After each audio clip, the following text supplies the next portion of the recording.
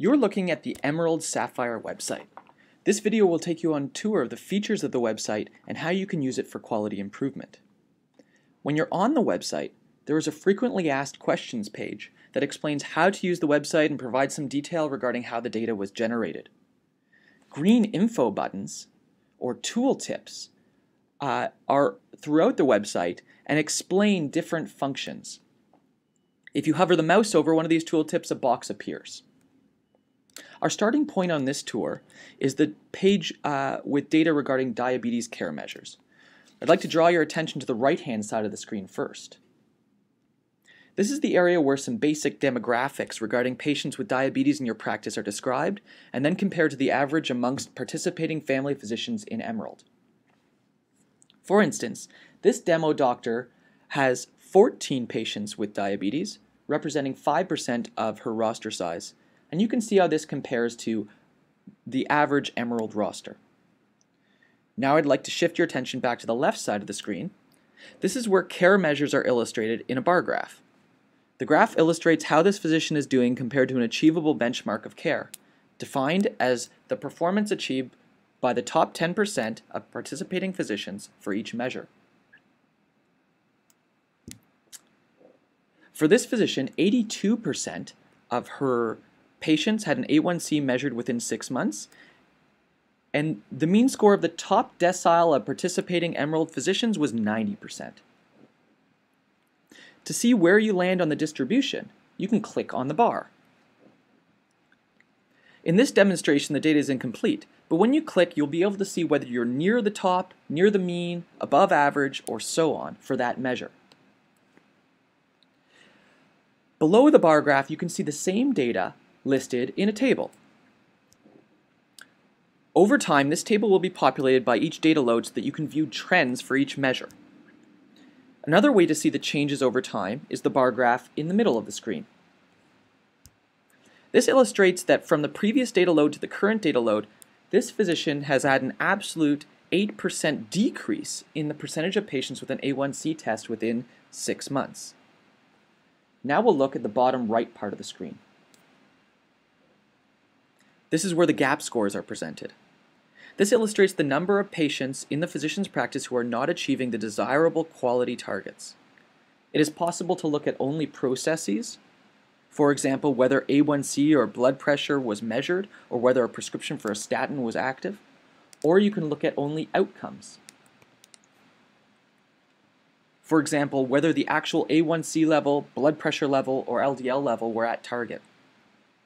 You can also combine processes and outcomes for an overall GAP score. If we go back to look at processes only, for this physician, three, uh, uh, three patients are missing three care measures, and one patient is missing four. Another way of seeing this is by switching to the cumulative view. This orders the gap scores according to the number of patients in each category. Again, three patients are missing three uh, scores, and four patients are missing one care measure. It might be reasonable to want to learn more about such patients. Doing that is easy. Let's say I want to learn about the patients with a gap score of 3. Just click on that bar, and a screen will open up with the patient's IDs listed in a table and much more data about these patients, including things like when was their most recent A1C and blood pressure measured. It is also possible to see detailed data for all patients with diabetes by removing the GAP score filter. Click here. Now all diabetes patients uh, are listed with all their info. You can scroll across to see, including whether you've gotten the bonus billing uh, for these patients. From this page, you may identify a patient that should not have been included in the list. If that happens, you can simply click to exclude. Follow the prompt and hit OK. The most important thing about this page is the download button. You can use this to download the file and then open it in Excel. Once you've saved the Excel file securely, you can use Excel to sort or filter according to patients that might need an assessment. There are a few more things to demonstrate. Let's go back to the diabetes main page.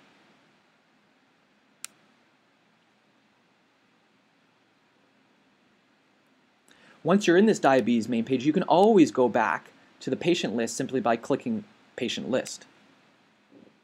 Now notice this feature up here called Switch Practice and the green arrow. This is available to this physician because she has been named a delegate by other physicians in her practice. This means that she has been given explicit permission to see the data of her colleagues with just the click of a button. Without this permission, this is not an option.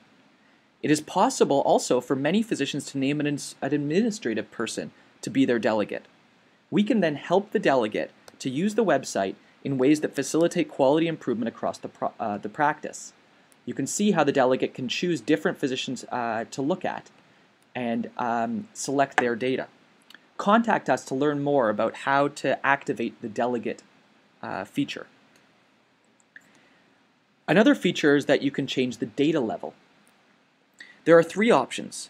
The first is the practice profile, where a physician's own data is compared against all participating EMRALD physicians.